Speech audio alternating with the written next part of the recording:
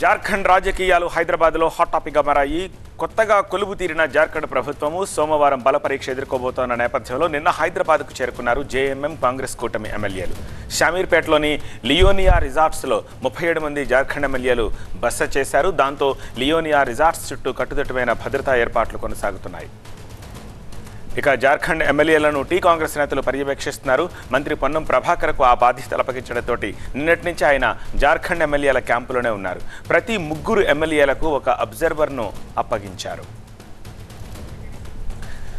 జార్ఖండ్ నూతన ముఖ్యమంత్రిగా రెండు రోజుల క్రితం చంపయ్యి సోరెన్ ప్రమాణ స్వీకారం చేయగా ప్రభుత్వ బల పరీక్షలకు తేదీ ఖరారు చేశారు.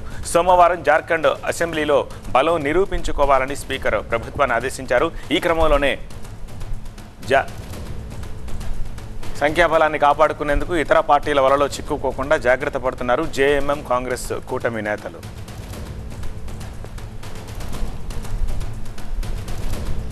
వారికోస్ వెయిన్స్ వ్యాధికి కేవలం ముప్పై నిమిషాల్లో చికిత్స. కాల్ చేయండి double nine eight nine five two double seven one five. Leoni resorts నుంచి మరింత సమాచారం మా ప్రతినిధి ఎలేందర్ అందిస్తారు. ఎలేందర్?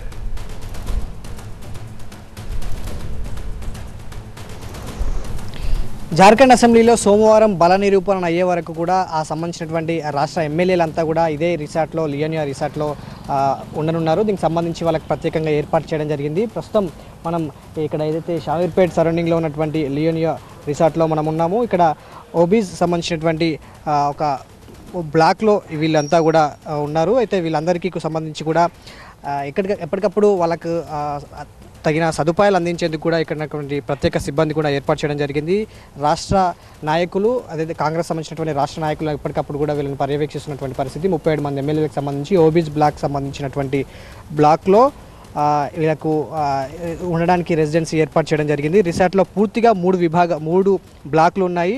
ఓబీస్ ఒకటి సెలెస్టియా ఎల్ఐసిసికి సంబంధించినటువంటి మూడు బ్లాక్లు ఉన్నాయి మూడు బ్లాక్లకు సంబంధించి కూడా ఒక బ్లాక్లో వీళ్ళకి సంబంధించి ఓబీస్లో వీళ్ళకి ఉండడానికి వసతి ఏర్పాటు చేయడం జరిగింది. అయితే ఎవరిని కూడా లోపలికి అనుమతించని పరిస్థితే కనిపిస్తుంది ఈ రిసార్ట్ ప్రాంతంలో.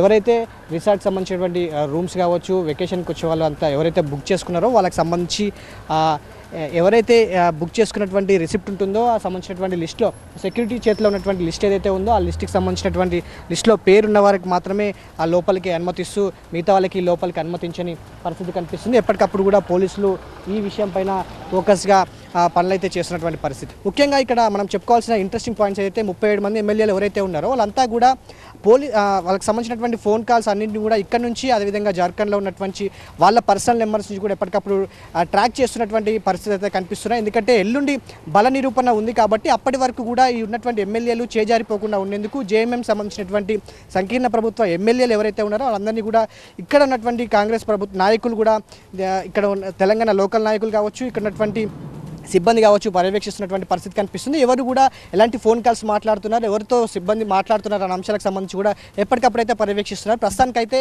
ఈ విషయాలన్నింటినీ కూడా తెలంగాణ కాంగ్రెస్ ఇక్కడ నుంచే పర్యవేక్షిస్తున్నటువంటి పరిస్థితి అయితే లియానియా రిసార్ట్లో కనిపిస్తున్నాయి.